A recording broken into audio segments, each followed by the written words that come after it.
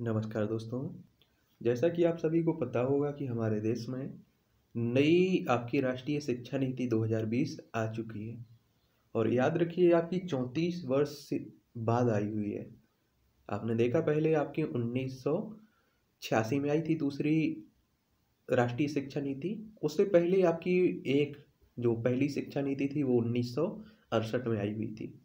और जो 2020 में आई है आपकी उन चौंतीस वर्ष बाद आई हुई है। और वैसे भी मैं कहता हूँ कि आपकी पहले आ जाना चाहिए था। आप, क्योंकि आप जान रहे हैं कि हम लोग किस सदी, इक्कीसवीं सदी में प्रवेश कर चुके हैं।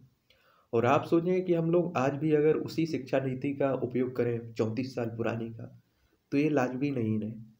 और अगर हमें देश को अपने आगे बढ़ाना है तो इस तरह का बदलाव लाना भी ज़रूरी है। तो आज हम लोग उन्नीस सौ अड़सठ वाली भी जो शिक्षा नीति है, उस पर भी बात कर लेंगे। और उन्नीस सौ छियासी वाली भी जो है आप पर, उस पर भी बात करेंगे। और इसमें जब भी संशोधन हुआ है, उस पर भी बात करेंगे। और 2020 की जो राष्ट्रीय शिक्षा नीति नई है, उस पर हम लोग बहुत विस्तार से बात करेंगे। एक एक पॉइंट को हम लोग बहुत ही साधारण शब्दों में देखेंगे। हम लोग यहाँ भारी भरकम शब्द का यूज़ भी नहीं करेंगे। जो भी यूज़ इसमें उपयोग होगा, उसे बड़े सरल तरीके से बता दिया जाएगा आपको। ठीक है? तो आप बने रहिए और इसकी के क्या लाभ हो सकते हैं, क्या हानि हो सकती है? क्योंकि आप जानते हैं कि एक सिक्के के दो पहलू होते हैं। तो इसमें भी आप कोई भी काम करते हैं तो उसके नुकसान भी होते हैं, उसके फ़ायदे भी होते हैं। तो इसमें भी हम लोग बात करेंगे। पढ़ो, लिखा है दीवारों पर मेहनत कस का नारा। पढ़ो, पोस्टर क्या कहता है वो भी दोस्त तुम्हारा। पढ़ो, अगर अंधविश्वासों से पाना है छुटकारा। पढ़ो, किताबें कहती हैं, सारा संसार तुम्हारा। ये आपके सफदर हाशमी का ये मशहूर गीत है। इसमें न केवल जीवन की शिक्षा की आवश्यकता, बल्कि उसके मत को भी रेखांकित किया है इस गीत में। आप सभी ने अभी देखा होगा कि आपके देश में पाँच रफेल आए हुए हैं, और बाकी आपके बाद में आएँगे अभी। तो इसमें हम लोग बहुत खुश हो रहे हैं। मुझे सबसे ज़्यादा खुशी उस दिन होगी जब हमारे देश में ही इससे शक्तिशाली रफेल बनाए जाएँगे, इससे और शक्तिशाली जेट बनाए जाएँगे। तो आप समझ रहे हैं, तब हम लोगों को खुशी होगी, क्योंकि अभी तो हम लोगों ने दूसरे देश से खरीदा है। तो हम लोगों को ज़्यादा खुश खुश, खुशियाँ मनाने की ज़रूरत नहीं है। समझ रहे अब हमारी शिक्षा नीति इस तरह से होनी चाहिए कि हम भी इस देश हमें दूसरे देशों पर खरीदने की ज़रूरत ही ना पड़े। और तभी हम लोग आत्मनिर्भर आत्मनिर्भर बनेंगे। आप ही सोचिए कि अब अगर हम लोग दूसरे देशों पर निर्भर हैं तो ये आत्मनिर्भर कब बन सकते हैं? कहाँ तक बन सकते हैं हम लोग? तो देखते हैं इस शिक्षा नीति के क्या क्या फ़ायदे होंगे। जीवन में शिक्षा के महत्व को देखते हुए गुणवत्तापूर्ण शिक्षा उपलब्ध कराने के उद्देश्य से वर्तमान सरकार ने शिक्षा क्षेत्र में व्यापक बदलाव के लिए नई राष्ट्रीय शिक्षा नीति को मंजूरी दी है। करीब तीन दशक के बाद देश में नई शिक्षा नीति आई हुई है। इससे पूर्व आपकी उन्नीस सौ छियासी में राष्ट्रीय शिक्षा नीति बनाई गई थी और उन्नीस सौ बानवे में इसमें संशोधन किया गया था। किसमें? उन्नीस सौ छियासी वाली में। उम्मीद की जा रही है कि यह शिक्षा नीति शिक्षा के क्षेत्र में नवीन और सर्वांगीण परिवर्तन के आधार पर आधारशिला रखेगी और विदित है कि राष्ट्रीय शिक्षा नीति 2020 को तैयार करने के लिए विश्व की सबसे बड़ी परामर्श प्रक्रिया आयोजित की गई थी, जिसमें देश के विभिन्न वर्गों से रचनात्मक सुझाव भी मांगे गए थे। प्राप्त, जो भी प्राप्त सुझाव हुए, उनमें विभिन्न शिक्षाविदों के अनुभव तथा के कस्तूरी रंगन समिति की सिफारिश के आधार पर शिक्षा तक सबकी आसान पहुँच क्षमता गुणवत्तापूर्ण, वहनीयता, जवाबदेही के आधारभूत स्तंभों पर निर्मित यह नई शिक्षा नीति सतत विकास के लिए एजेंडा 2030 के अनुकूल है। इसका उद्देश्य 21वीं शताब्दी की आवश्यकताओं के अनुकूल स्कूल कॉलेजों की शिक्षा को अधिक समग्र, लचीला बनाते हुए भारत को एक ज्ञान आधारित, जीवंत समाज और वैश्विक महाशक्ति में बदलकर प्रत्येक छात्र में निहित अद्वितीय क्षमताओं को सामने लाना है। एक बात और मैं यहाँ आप लोगों को बता देता हूँ। याद रखिए आपकी 2015 में ये आपकी एक टी आर एस कौन सी? टी आर एस सुब्रमण्यम समिति बनी हुई थी। लेकिन क्या हुआ कि इसका, इसकी जो भी सिफारिशें थी, उसे एक बंद बक्से में डाल दिया गया, यानी कि उसकी सिफारिशों को सरकार द्वारा नहीं मानी गए फिर आपकी 2017 में के कस्तूरी रंगन समिति बनती है। याद रखिए इस समिति को। के कस्तूरी रंगन संति बनती है ये जून कब? जून 2019 में। ये आप अपनी रिपोर्ट सरकार को जो भी उसकी मसौदा होता है पिस्ता होता है उसे सौंपती है 2019 में। ठीक है? उसी की सिफारिश पर इस राष्ट्रीय शिक्षा नीति को लाया गया है। तो इसे याद रखिए। और इसमें जो बत, बात की जा रही कि सबकी पहुँच हो यानी कि इसमें ना गरीब छूटे ना आप सोचेंगे अगर कोई किसी की आर्थिक स्थिति किसी की खराब है तो वो शिक्षा से वंचित वंचित रह जाए, ऐसा नहीं है। उसे भी समान शिक्षा मिलने की, गुणवत्तापूर्ण शिक्षा, यानी कि बहुत अच्छी तरह से शिक्षा मिलना उसे, और आराम से वो बहन कर सके, और जवाबदेही इस तरह से शिक्षा मिलनी चाहिए। अभी आप देखते हैं कि स्कूलों का क्या हाल है। अब बहुत कुछ चीज़ में बदलाव भी किया गया है। क्या क्या किया गया है, उसे हम लोग आगे बात करते हैं। राष्ट्रीय शिक्षा की विकास यात्रा को हम लोग बात करते हैं। राष्ट्रीय शिक्षा नीति उन्नीस सौ अड़सठ। स्वतंत्र भारत में शिक्षा पर यह पहली राष्ट्र नीति कोठारी आयोग की सिफारिशों पर आधारित थी। याद रखिए उन्नीस सौ अड़सठ की जो राष्ट्रीय शिक्षा नीति थी हमारे देश की पहली शिक्षा नीति थी। और कोठारी आयोग की सिफारिश पर आई हुई थी, ठीक है? शिक्षा को राष्ट्रीय महत्व का विषय घोषित किया गया था इसमें। चौदह वर्ष की आयु तक के सभी बच्चों के लिए अनिवार्य शिक्षा का लक्ष्य और शिक्षकों को का बेहतर प्रशिक्षण और योग्यता पर फोकस दिया गया था। ये मुझे लगता है कि बहुत बढ़िया किया गया था, लेकिन इसमें कुछ कमियाँ रह गई।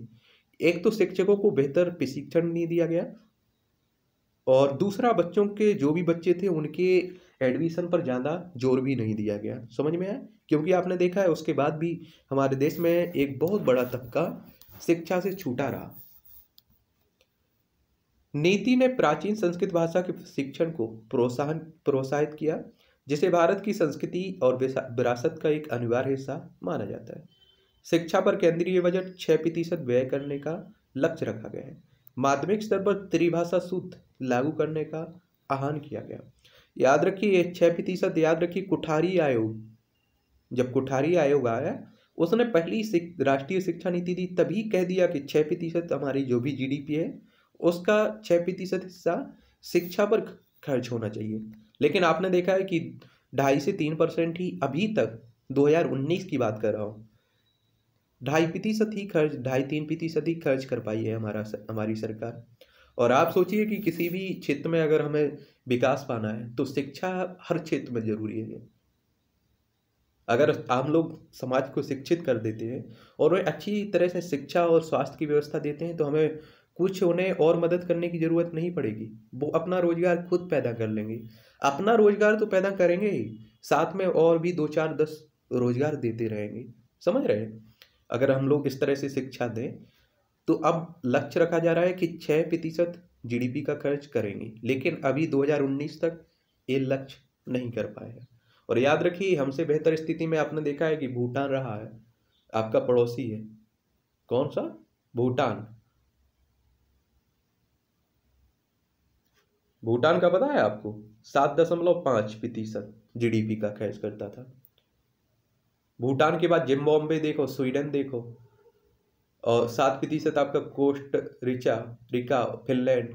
छः प्रतिशत आपका कजाकिस्तान, साउथ अफ्रीका, ब्राज़ील। याद रखिए, हमसे जो गरीब देश हैं, वो भी हमसे ज़्यादा शिक्षा पर खर्च करते हैं जीडीपी का अपना। समझ रहे हैं? तो शिक्षा का महत्व तो है, लेकिन हमारे देश की ये जो भी राजनेता रहे हो या आप जहाँ भी कमी रही हो, हमने छः प्रतिशत कभी खर्च नहीं किया। है और मुझे लगता है कि बेहतर शिक्षा अगर प्रणाली पहले से ही लागू हो जाती तो आज हम लोग कहाँ होते? आज हमें लगता है कि दूसरे देशों से हमें रफेल खरीदने की ज़रूरत ना पड़ती। हम लोग खुद बना रहे होते, हमारे यहाँ खुद इंजीनियर होते, बेहतर होते। अभी आप देखते हैं कि आपके यहाँ जो भी बेहतर डॉक्टर रहते हैं, बेहतर इंजीनियर रहते हैं और बेहतर अर्थशास्त्री रहते हैं, वो सभी दूसरे देशों में जाकर काम करने लगते हैं। या तो हमें मुझे लगता है कि उनके हिसाब से यहाँ व्यवस्था नहीं इकट्ठी कर पा रहे हैं, हम लोग व्यवस्थित कर पा रहे हैं। क्योंकि आपने देखा है, अभिजीत बनर्जी को ले लीजिए, फिर चाहे चाहे रघुराम राजम साहब को ले लीजिए। वो दूसरी जगह पढ़ा रहे हैं, दूसरी जगह, दूसरे देश में सलाह दे रहे हैं। आप सोचिए कि आपका अमेरिका उनकी सलाह ले रहा है और हम लोग उनकी सलाह नहीं ले पा रहे हैं। तो कहीं ना कुछ ना कुछ तो कमी है हमारे देश में। अब बात करते हैं राष्ट्रीय शिक्षा नीति उन्नीस सौ छियासी।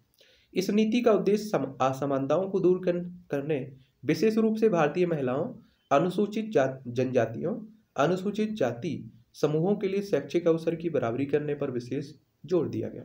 क्योंकि आपने देखा है आज़ादी के बाद ये तीनों वर्ग बहुत बुरी तरह से प्रभावित थे और शिक्षा से ये लोग वंचित थे। भारतीय महिलाओं को आपने देखा है कि अभी भी उनके साथ भेदभाव किया जाता है। तो उस समय की तो आप बात आप सोच सकते हैं।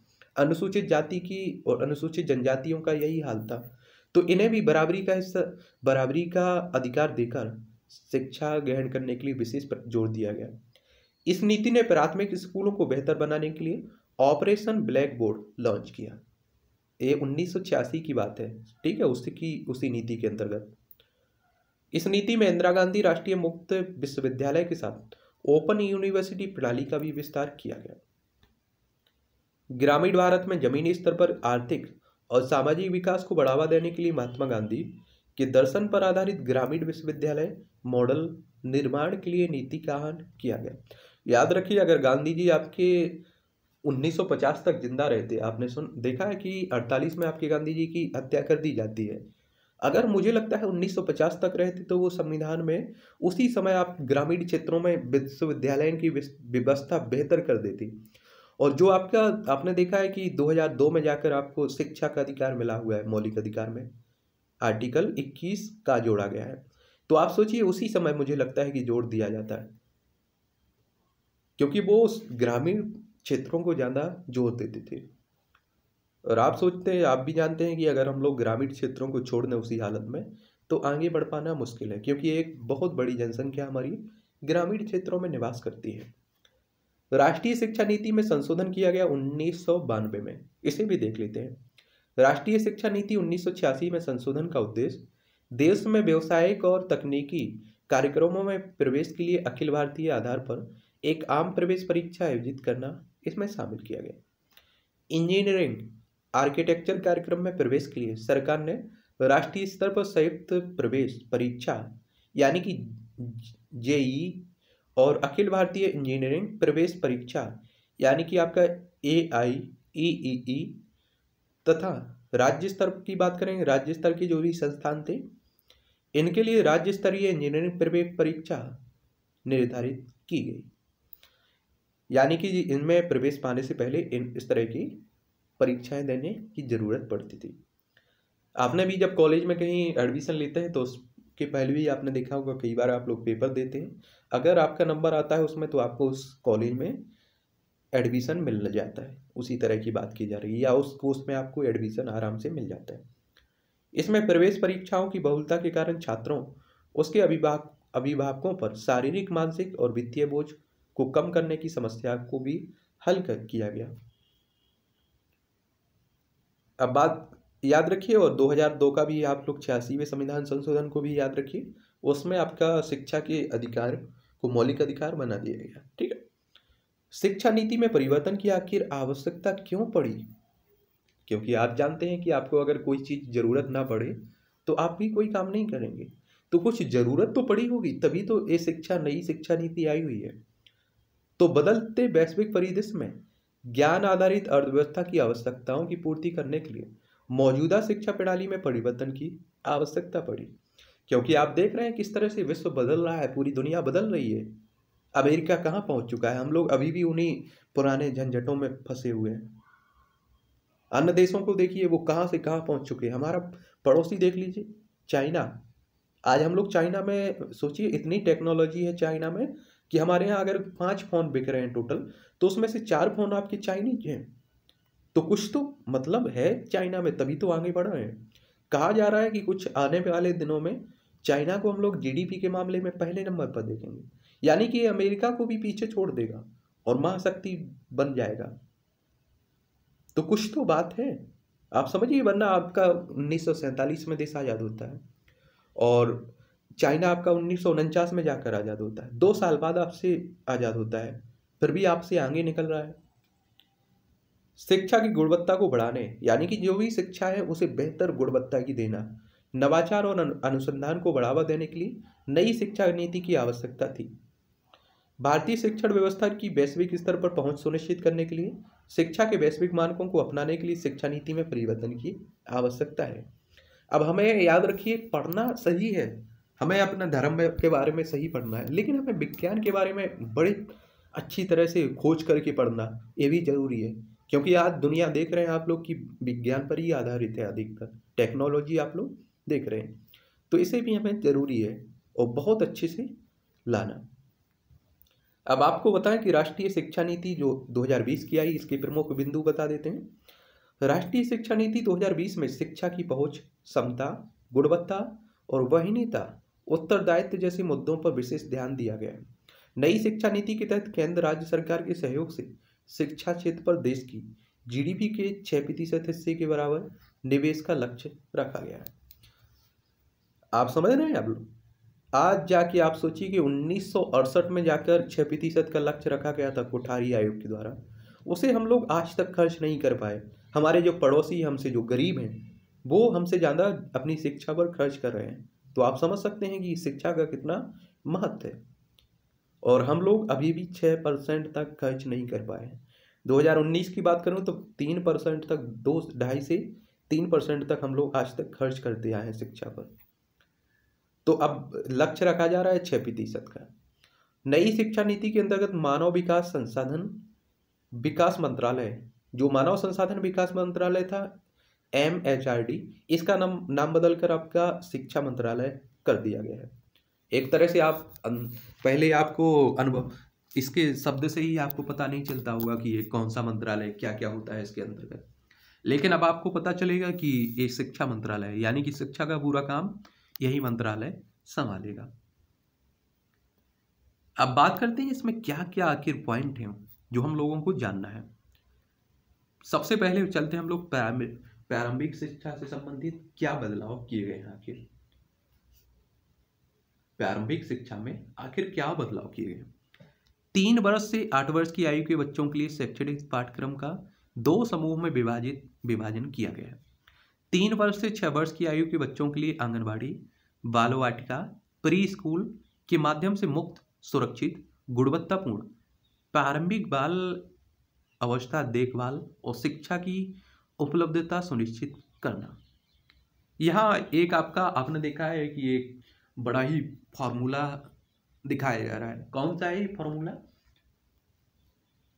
Five plus three plus three plus four. अब फाइव प्लस का समझ में आया आपको? जो प्रथम तीन वर्ष होंगे, पाँच मतलब पाँच साल, ठीक है? इसमें जो भी प्रथम तीन साल होंगे, उसमें आप देखेंगे कि बच्चे को आपका आंगनबाड़ी इस तरह की प्रारंभिक बाल व्यवस्था देखभाल की जाएगी। उसके बाद आप देखेंगे कि एक और दो और बचती है, कक्षा एक और दो, इस तरह से टोटल आपकी पाँच साल हो जाएँगे, ठीक है? तो इसे याद रखिए, पहले तीन साल में बच्चे आंगनबाड़ी में प्री स्कूलिंग शिक्षा यानी कि आंगनबाड़ी में पढ़ सकेंगे। फिर अगले दो साल मतलब कक्षा एक और कक्षा दो में बच्चे स्कूल में पढ़ेंगे। इन पाँच सालों की पढ़ाई के लिए एक नया पाठ्यक्रम तैयार होगा, इसमें तीन से आठ साल तक की आयु के बच्चे कवर होंगे। किससे? तीन से आठ वर्ष साल ठीक है? याद रखिए एक बात।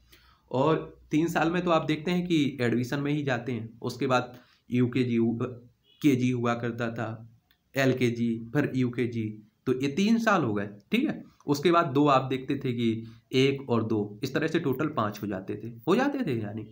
तो इस तरह से पाँच और तीन आठ साल तक के बच्चों के लिए ये शिक्षा व्यवस्था की गई है। और इसे फाउंडेशन स्टेज किया गया है, कहा गया है। क्योंकि आप जानते हैं फाउंडेशन स्टेज का ये मतलब होता है कि एक उनकी नींव बनाना, यानी कि उन्हें अच्छी तरह से उनके दिमाग को विकसित करना। इसमें कोई आपकी परीक्षा नहीं होंगी, याद रखिए। परीक्षाओं का बोझ नहीं रहेगा, बस बच्चों को एक समझाया जाएगा अच्छी तरह से। समझ रहे ये रहेगा। फिर हम लोग चलेंगे आपकी छः वर्ष से आठ वर्ष तक के बच्चों को प्राथमिक विद्यालय में कक्षा एक और दो शिक्षा प्रदान कक्षा एक में और कक्षा दो में शिक्षा प्रदान की जाएगी। ठीक है, ये आपका तीन से आठ वर्ष हो गया। प्रारंभिक शिक्षा को बहु, बहुस्तरीय खेल गतिविधि आधारित बनाने की प्राथमिकता दी जाएगी। जो आपका फाउंडेशन स्टेज है, इसमें आप देखेंगे कि इसमें क्या? खेल कूद हो गया, इस तरह की गतिविधियों में शामिल किया जाएगा। और कहा जाता है कि जो भी बच्चे का दिमाग होता है, शुरू में कहते हैं कि उन्हें जो भी करना है, करने दीजिए। क्योंकि उससे उनका दिमाग खुलता है। लेकिन हम लोग अधिकतर क्या कर रहे थे कि अपने बच्चों को दो साल का हुआ, हम लोगों ने एक प्राइवेट स्कूल चुन लिया, उसमें जाके वो बेचारा पढ़ रहा है, पढ़ रहा है, पढ़ रहा है और एग्ज़ाम आ रहा है तो उसका भी वो जो वो देख रहा है। लेकिन अब कहा जा रहा है कि आठ वर्ष तक उसे बिल्कुल फ्री रहने दीजिए। उसे कोई परीक्षा का ज़ोर ना दिया जाए उस पर। जो आपका एनईपी यानी कि नई शिक्षा नीति है और एम एच आर डी द्वारा जो मंत्रालय है, इसके बुनियादी साक्षरता और संख्यात्मक ज्ञान पर एक राष्ट्रीय मिशन की स्थापना की मांग की गई है इसके लिए। राज्य सरकारों द्वारा 2025 तक प्राथमिक विद्यालय में कक्षा तीन तक के सभी बच्चों में बुनियादी साक्षरता और संख्यात्मक ज्ञान करने हेतु इस मिशन के क्रियान्वयन की योजना तैयार की जा रही है। क्योंकि अभी देखते हैं आप लोग कि क्या हाल रहता है और एक बात हमेशा याद रखिए। फिर आपका मैंने बताया था ना कि पाँच प्लस तीन। तीन का मतलब है कि चार, कक्षा तीन, चार, पाँच। ठीक है? नई शिक्षा नीति 2020 में कक्षा पांचवी तक की शिक्षा में मातृभाषा, स्थानीय या फिर क्षेत्रीय भाषाओं को अध्यापन के माध्यम के रूप में अपनाने पर बल दिया गया है। साथ ही इस नीति में मातृभाषा को कक्षा आठवीं और आगे की शिक्षा के लिए भी प्राथमिकता देने का सुझाव भी दिया गया है।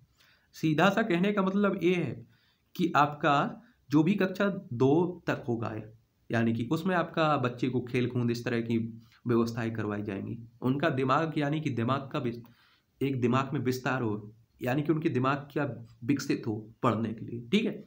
कक्षा तीनवीं से कक्षा पाँचवीं तक की परीक्षाओं में आपको मातृभाषा, जो भी आपकी मातृभाषा या स्थानीय भाषा हो या क्षेत्रीय भाषा हो, उसमें अध्यापन के माध्यम से के रूप में अपनाने पर बल दिया गया। यानी कि अंग्रेज़ी का पांचवी तक मत नहीं रहेगा। आगे हम लोग बात करेंगे, इस पर भी एक समस्या, एक क्वेश्चन लग रहा है। सो समझ में आएगा? लेकिन अभी कहा जा रहा है कि कक्षा पांचवी तक की जो भी शिक्षा हुई, वो आपकी मातृभाषा यानी कि स्थानीय भाषा में जो आपको बेहतर लगेगी या समझ में आएगी, उसमें अध्यापन के माध्यम से के रूप में बल दिया जाएगा, ठीक है? साथ ही इस नीति में मातृभाषा को कक्षा आठवीं और आगे भी जारी रख सकते हैं। सुझाव दे दिया गया है, आगे रख सकते हैं, ठीक है? आप चाहें तो।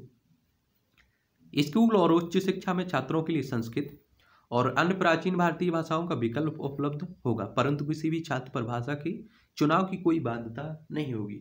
समझ रहे हैं? इसमें मतलब कोई बाध्यता नहीं है कि आपको ये सब्जेक्ट चुनना ही है या इस भाषा में आपको पढ़ना ही है। और एक बात और, इसमें आपने देखा है कि आपकी प्राचीन भारतीय भाषाओं, यानी कि आपकी संस्कृति को बढ़ावा देने के लिए भी बात की जा रही है कि हम लोग जाने पुरानी संस्कृति क्या थी। अब चलते हैं हम लोग आगे। पाठ्यक्रम और मूलाधार संबंधी सुधार। इस नीति में प्रस्तावित सुधारों के अनुसार कला और विज्ञान, व्यवसायिक और शैक्षणिक विषयों एवं पाठ्यक्रम व पाठ्यतर गतिविधियों के बीच बहुत अंतर नहीं होगा। कक्षा छठवीं से ही शैक्षिक शैक्षिक पाठ्यक्रम में व्यवसायिक शिक्षा को शामिल कर दिया जाएगा। इसमें इंटर्न इंटर्नशिप की व्यवस्था भी कर दी जाएगी। देखिए, फिर से बता देता हूँ, पाँच प्लस तीन प्लस तीन और प्लस चार। आप लोगों ने देखा था ये? तो इसमें आपका पाँच साल शुरू के फिर आप देखेंगे कक्षा दो बी तक इसमें शामिल रहेगा। फिर आपका तीन, चार, पाँच। पाँच कक्षा पाँचवीं तक इसमें शामिल हो जाएगा। छः, सात, आठ। तीन में शामिल हो जाएगा। ठीक है? आठ से कक्षा, आठवीं से कक्षा बारहवीं तक आपका चार साल शामिल हो जाएँगे। ठीक है? इस तरह से इसका फॉर्मूला बनाया गया है तो एक बात आप लोगों को याद रखिए कि कक्षा पाँचवीं तक जो भी शिक्षा होगी वो मातृभाषा में दी जाएगी आपकी। और कक्षा छठवीं से आप समझते हैं जो कंप्यूटर की कोडिंग होती है और बाकी की जो व्यवसायिक शिक्षाएँ दी जाती हैं। तो कक्षा छठवीं से ही अब शुरू कर दी जाएगी। यानी कि कहने का मतलब है कि अब हमारे देश में जो भी बच्चे होंगे, उन्हें व्यवसायिक शिक्षा, कंप्यूटर की शिक्षा, आपकी कक्षा छठवीं से शुरू कर दी जाएगी। तो इसका मतलब ये रहेगा कि आगे बच्चा जो भी कहीं भी जाते हैं तो आराम से अपना व्यवसाय या अपनी कहीं भी नौकरी पा सकते हैं। अन्य देशों में आप देखेंगे कि कक्षा छठवीं से ही विज्ञान को बेहतर तरीके से समझाने लगते हैं। आप देखेंगे कि व्यवसायिक शिक्षा को शुरू से ही पढ़ाने लगते हैं। टेक्नोलॉजी इस तरह की कंप्यूटर सभी शिक्षाएँ शामिल कर दी जाती हैं कक्षा छठवीं से तो यही हमारे देश की नई शिक्षा नीति में किया जा रहा है। राष्ट्रीय शैक्षणिक अनुसंधान और प्रशिक्षण परिषद द्वारा स्कूली शिक्षा के लिए राष्ट्रीय पाठ्यक्रम रूपरेखा तैयार किया जाएगा। जो एन है ना, एन इसके द्वारा स्कूली शिक्षा के लिए राष्ट्रीय जो भी सिलेबस होगा, वो तैयार किया जाएगा। याद रखिए। छात्रों के समग्र विकास के लक्ष्य को ध्यान में रखते हुए कक्षा दसवीं और कक्षा बारहवीं की परीक्षाओं में बदलाव किए जाएँगे। इसमें भविष्य में सेमेस्टर और बहुविकल्पीय प्रश्न आदि जैसे सुधारों को शामिल किया जाएगा। कहने का मतलब है कि जो आप देखते थे, एक साल में फाइनल पेपर होते थे, उन्हीं से हमारा रिज़ल्ट बनता था कक्षा दसवीं में, कक्षा बारहवीं में। जैसे आप लोग कई राज्यों में आप लोग बोर्ड परीक्षा कह देते सी परीक्षा कर देते थे। तो उसमें अब आपकी एक साल में ना होकर छः छः महीने की आपकी सेमेस्टर सेमेस्टर आप लोग अभी बीएससी में देखते होंगे बीए में देखते होंगे। सेमेस्टर होते हैं ना तो उन्हीं जैसी बात प्रावधान आप इसमें भी किया जाएगा। कक्षा दसवीं और बारहवीं में। छात्रों की प्रगति के मूल्यांकन के लिए मानक निर्धारण निकाय के रूप में परख नामक एक राष्ट्रीय आकलन केंद्र भी की स्थापना भी की जाएगी। छात्रों की प्रगति के मूल्यांकन और छात्रों को अपने भविष्य से जुड़े निर्णय लेने में सहायता प्रदान करने के लिए किंतिम बुद्धिमता आप समझ रहे हैं, आजकल देख रहे हैं कि दुनिया पूरी इसी पर आर्टिफिशियल इंटेलिजेंस पर ज़ोर दे रही है। आधारित सॉफ्टवेयर का प्रयोग भी किया जाएगा। अब बात करते हैं शिक्षा व्यवस्था से संबंधित सुधार की बात करें तो शिक्षकों की नियुक्ति में प्रभावी और पारदर्शिता पारदर्शी प्रक्रिया का पालन और समय समय पर लिए गए कार्य प्रदर्शन आकलन के आधार पर पदोन्नति की जाएगी। अब यानी कि शिक्षकों की नियुक्ति और मतलब इनमें भी ज़ोर दिया जाएगा। समझ रहे हैं? सुधार होगा। राष्ट्रीय अध्यापक शिक्षा परिषद वर्ष 2022 तक शिक्षकों के लिए राष्ट्रीय व्यवसायिक मानक का विकास किया जाएगा। राष्ट्रीय अध्यापक शिक्षा परिषद द्वारा एन के परामर्श के आधार पर अध्यापक शिक्षा हेतु राष्ट्रीय पाठ्यक्रम, पाठ चर्चा की रूपरेखा का विकास किया जाएगा। आपने देखा होगा कि अगर आप लोग जब भी सिविल सर्विस की तैयारी करते हैं तो आपको एन सी पढ़ने की, के लिए कहा जाता है। क्यों कहा जाता है? क्योंकि ये बुक्स बहुत बेहतर तरीके से लिखी जाती हैं। और इसमें आप देखेंगे तो एक बच्चे का दिमागी क्षमता जो भी होती है, उसे बहुत अच्छे तरीके से भरने की बात की जाती है। उसे बताया जाता है समाज के बारे में, अपनी राजनीति के बारे में, भौगोलिक स्थितियों के बारे में। और आपने बाकी एम बोर्ड देख लीजिए, यूपी बोर्ड देख लीजिए। इसमें आपने देखा होगा कि अलग अलग तरह की किताबें रहती थी। और याद रखिए, जो नई राष्ट्रीय नीति है, ये प्राइवेट स्कूलों में भी सभी सिलेबस एक ही रहेगा। फिर चाहे सरकारी स्कूल हो, प्राइवेट स्कूल हो, फिर चाहे एमपी का हो, बिहार का हो, या फिर उत्तर प्रदेश का किसी भी राज्य का हो, सब में अब एक ही रहेगा। बस यही है कि एमपी में अलग मातृभाषा है तो वो अपनी मातृभाषा में उसका शिक्षा ग्रहण कर पाएँगे। शुरू में पाँच साल के लिए बता रहा हूँ। और उसके बाद दूसरे राज्यों में, वो अपने में और याद रखिए, एक बात और हमेशा याद, कि ये पाठ्यक्रम अब हमेशा एक ही रहेगा। अब ऐसा नहीं है कि आप अगर बिहार में जा रहे हैं तो अलग पढ़ेंगे, मध्य प्रदेश में जा रहे हैं तो अलग पढ़ेंगे, हर जगह एक ही सिलेबस लागू होगा, ठीक है?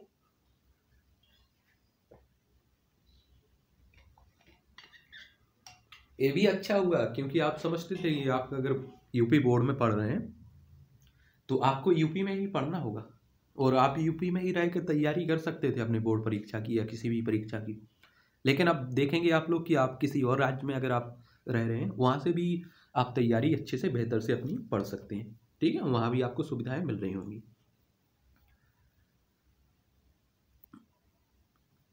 2030 तक अध्यापन के लिए न्यूनतम डिग्री, यानी कि अध्यापन, यानी कि शिक्षक के लिए चार वर्षीय एकीकृत B Ed B Ed degree का होना अनिवार्य किया जाएगा। अगर शिक्षक आपको बनना है तो न्यूनतम आपको चार वर्षीय, यानी कि चालीस, चार साल का बी एड डिग्री होना आपके पास ज़रूरी होगा, ठीक है? अगर हम लोग उच्च शिक्षा से संबंधित प्रावधानों की बात करें, यानी कि उच्च शिक्षा में क्या सुधार होगा इसके तहत तो नई राष्ट्रीय नीति, जो शिक्षा नीति है 2020 इसके तहत उच्च शिक्षण संस्थानों में सकल नामांकन अनुपात को आपका छब्बीस दशमलव तीन प्रतिशत दो से बढ़ाकर पचास प्रतिशत तक करने का लक्ष्य रखा गया। इसके साथ ही देश के उच्च शिक्षण संस्थानों में तीन दशमलव पाँच करोड़ नई सीटों को जोड़ा जाएगा, यानी कि नई सीटें बनाई जाएँगी। एक बात याद रखिए, सकल नामांकन अनुपात का ये मतलब है कि आपने देखा होगा कि जब आप शुरू में शिक्षा में जाते हैं तो अच्छे अनुपात रहता है, यानी कि बच्चे काफ़ी संख्या में रहते हैं। लेकिन जैसे ही आप लोग उच्च शिक्षा में जाएँगे बारहवीं पास करने के बाद जाएँगे तो आप, वो अनुपात घटने लगता है। कई बच्चे छोड़ देते हैं उस पढ़ाई को। तो उसमें आप बढ़ाने की बात की जा रही है पचास फ़ीसदी तक। ठीक है? उच्च शिक्षण संस्थानों में। नई शिक्षा नीति के तहत स्नातक पाठ्यक्रम में मल्टीपल एंट्री एंड एग्जिट व्यवस्था को अपनाया गया है। इसके तहत तीन या चार वर्ष के स्नातक पाठ्यक्रम में छात्र कई स्तर पर पाठ्यक्रम को छोड़ सकेंगे और उन्हें उसी के अनुरूप डिग्री या प्रमाण पत्र प्रदान होगा अब आपको बताऊँ। यहाँ कहने का मतलब ये है कि आपने देखा होगा कि आप बीएससी कर रहे हैं, आपका उसमें मन नहीं लग रहा है। फिर आप छोड़ देते थे, दो साल हुए, आपने छोड़ दिया, आपको कोई नहीं, कुछ नहीं मिलता था। यानी कि आपके दो साल बर्बाद जाते थे पूरी तरह से। लेकिन अब पूरी तरह से बदल चुका है। यानी कि कहने का मतलब है कि आज आपने छोड़ दी, एक साल करके आपने छोड़ दी तो आपको क्या मिलेगा? एक आपको प्रमाण पत्र मिल जाएगा। क्या मिलेगा? प्रमाण पत्र मिलेगा कि इस बच्चे ने एक साल पढ़ा है इसे, ठीक है? और अगर आप दो साल पढ़ते हैं, उसके बाद छोड़ते हैं तो आपको क्या मिलेगा? डिप्लोमा मिलेगा। पहले साल में आपका डिग्री, सॉरी, सर्टिफिकेट, दूसरे साल अगर दो साल बाद आप छोड़ते हैं तो डिप्लोमा।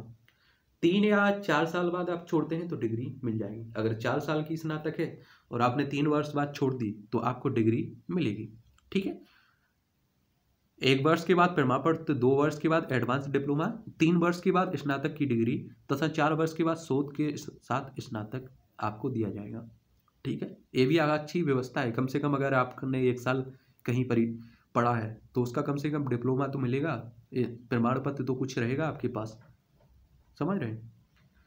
विभिन्न उच्च शिक्षण संस्थानों से प्राप्त अंकों या क्रेडिट को डिजिटल रूप से सुरक्षित रखने के लिए एक एकेडमिक बैंक ऑफ़ क्रेडिट दिया जाएगा, जिसे अलग संस्थानों में छात्रों की प्रदर्शन के आधार पर उन्हें डिग्री प्रदान की जाएगी।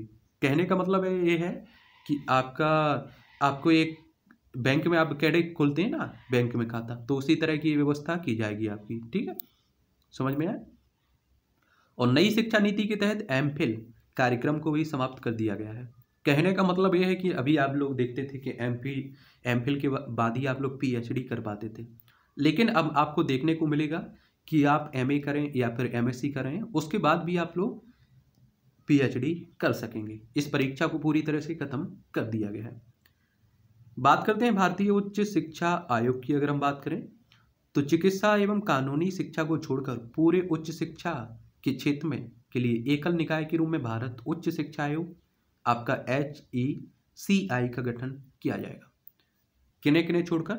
चिकित्सा और कानूनी शिक्षा को छोड़कर। हो सकता है बाद में इन्हें भी शामिल कर लिया जाए, लेकिन अभी फ़िलहाल इन्हें दोनों को बाहर रखा गया है। और सभी उच्च शिक्षा के लिए एक एकल निकाय मतलब एक ही संस्था या आयोग का गठन किया जाएगा सभी की देखरेख करने के लिए। जो एच ई सी आई आयोग के कार्यों के प्रभावी और प्रदर्शितापूर्ण निष्पादन के लिए चार संस्थानों, निकायों का निर्धारण भी किया गया है।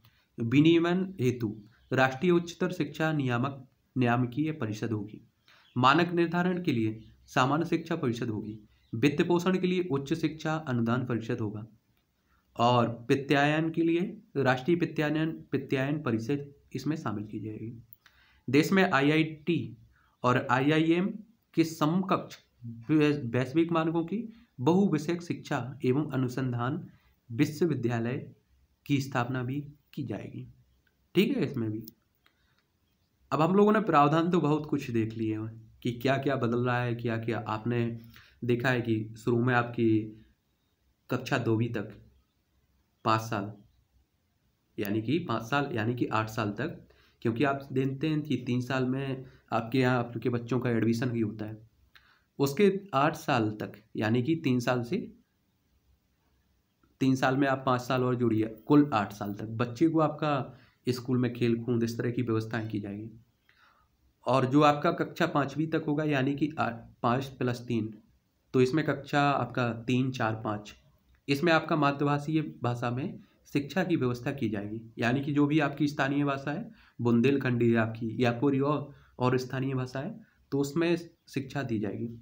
फिर उसके बाद आप देखेंगे कि तीन साल प्लस तीन, यानी कि छः, सात, आठ, इसमें आपको देखेंगे कि इसमें कंप्यूटर की शिक्षा, व्यवसायिक शिक्षा, इस तरह की व्यवस्था की जाएगी। उसके बाद चार प्लस चार, यानी कि कहने का मतलब है कि नौ, दस, ग्यारह, बारह, इसमें आपका एक आप देखेंगे कि जो दसवीं, बारहवीं की अभी बोर्ड परीक्षा हुआ करती थी, इसमें आप सेमेस्टर बदल दिए जाएँगे, यानी कि सेमेस्टर में इसकी परीक्षा करवाई जाएगी, ठीक है? और विकल्पिक विषय में भी हो सकता है इसका। आगे देखेंगे, जो भी सिलेबस आएगा, उस हिसाब से हम लोग बात करेंगे। लेकिन सबसे बड़ी प्रॉब्लम है कि इसमें आखिर चुनौतियाँ क्या क्या हैं? क्योंकि नई शिक्षा नीति आ गई तो इसमें प्रॉब्लम में भी यानी कि समस्याएँ, यानी कि इसकी सीमाएँ भी होंगी। चुनौती भी इसके सामने कई तरह की देखने को मिलेगी। एक सबसे पहले आप चुनौती देखेंगे कि आप सोचिए कि आज पूरी दुनिया अंग्रेज़ी मतलब इंग्लिश पर ज़ोर दे रही है। क्योंकि आप जहाँ भी जाएँगे तो इंग्लिश की ज़रूरत ही पड़ती है। और हम लोग कक्षा अगर शुरू से हटा देते हैं, कक्षा पाँचवीं तक इंग्लिश नहीं रहेगी तो कक्षा छठवीं में क्या डायरेक्ट आप पहुँचेंगे तो आपको समझ में आएगा? बिल्कुल नहीं। तो लेकिन याद रखिए, यहाँ आपका मतलब आपको एक सलाह दी गई ऐसा नहीं कि पूरी तरह से आपको मानना ही पड़ेगा कि आपको मातृभाषा में ही शिक्षा प्राप्त करनी है।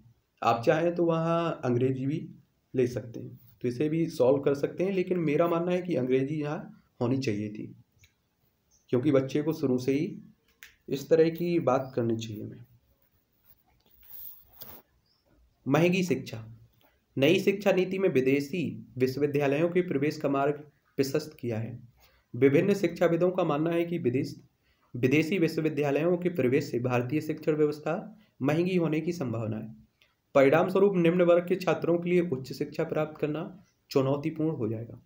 कहने का मतलब यह है कि आप सोचिए कि अगर कोई दूसरे देश का हमारे यहाँ स्कूल खोलता है, समझ रहे हैं? तो उसमें हमारे यहाँ की जो एक बहुत बड़ा हिस्सा है आबादी का, वो उसके पास इतनी क्षमता, उसकी आर्थिक स्थिति इतनी ठीक नहीं है कि वो अपने बच्चों को बेहतर स्कूलों में प्रवेश दिला सके।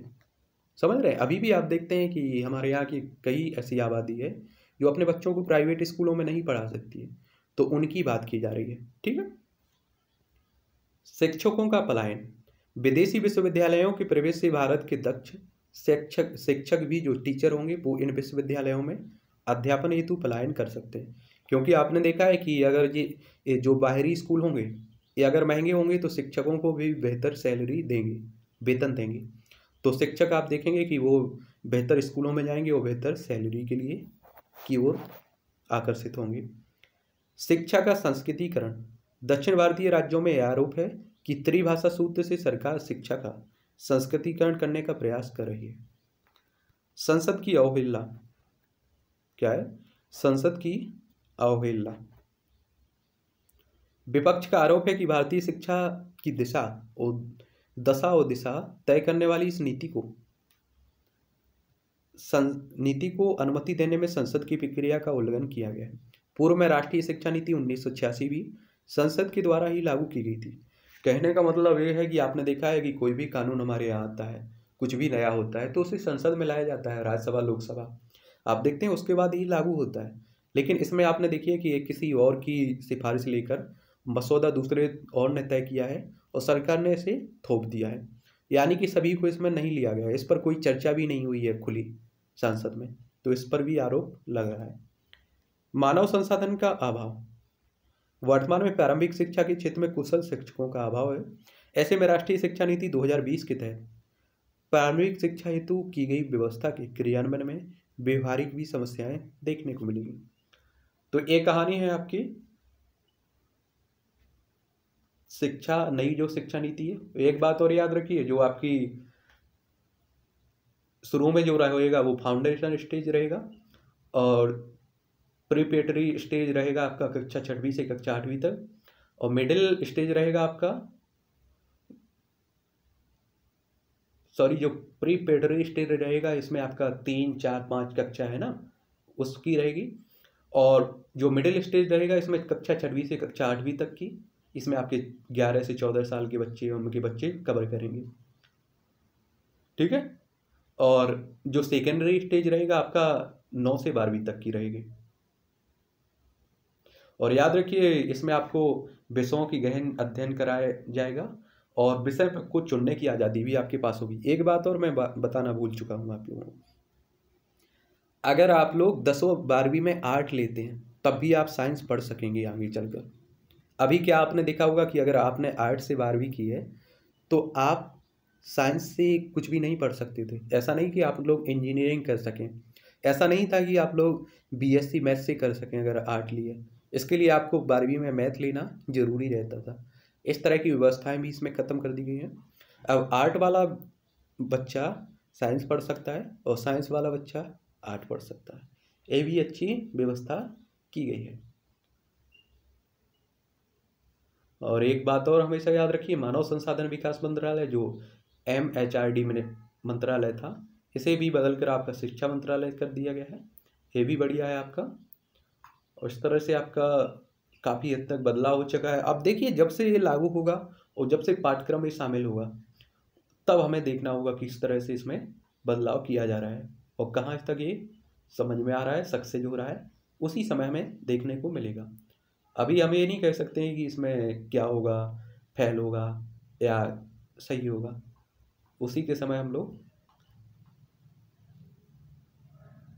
बात करेंगे, ठीक है? मुझे लगता है आपको बेहतर समझ में आ गया होगा। ठीक है, और जो भी सवाल हो, मुझसे बताते रहिए।